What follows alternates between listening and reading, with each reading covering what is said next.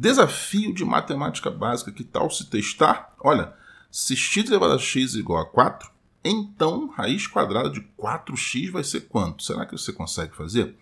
Pensa um pouco, tenta fazer escreve um comentário para mim aqui com a sua resposta, beleza? Eu já vou terminar essa resolução com você, prometo, mas antes eu preciso muito da sua ajuda. Se você gosta desse canal aqui, você pode ajudá-lo como nunca. A gente está concorrendo ao maior prêmio da internet brasileira, o prêmio IBEST.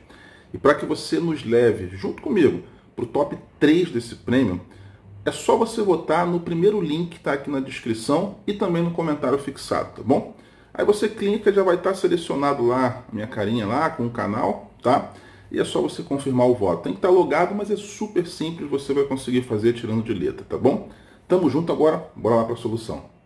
Tá bastante tranquilo, sabe por quê? Porque 4, pessoal, é 2 elevado a 2. Quando você faz uma comparação com x elevado a x, você vê que o x tem que ser 2, né?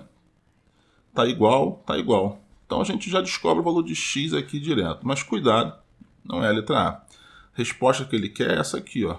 Raiz quadrada de 4x, ou seja, raiz quadrada de 4, que é um x, 2, né? Então, 4 vezes 2, tá? Se você multiplica, dá 8. Raiz de 8, bom, não tem uma raiz quadrada exata, né? 8. Então você pode fazer a raiz quadrada de 4, que é 2, e esse 2 continua lá dentro. Então essa aqui é a nossa resposta. Eu falei que era fácil, né?